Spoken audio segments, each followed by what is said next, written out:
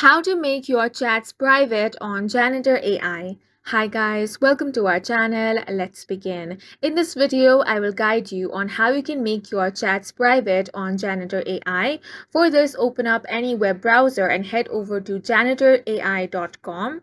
Now you can open any old chat or you can select a new chat over here. For that, click on whichever character you want. Now you want to click on the chat option.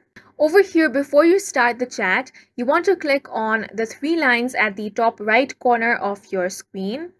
From this option, you want to click on this public chat option. Right now, it is toggled on. Simply toggle this off. Once you toggle off the public chat, as you can see, the chat has now been made private. If you want to check it, click on the three lines and as you can see, Public chat is turned off, which means this chat is currently private. If you want to change it back into public, you can toggle the button on. And in this way, you can make your chats private on Janitor AI. And that's it for this video. If you found it helpful, please make sure to hit the like button and subscribe for more videos like this.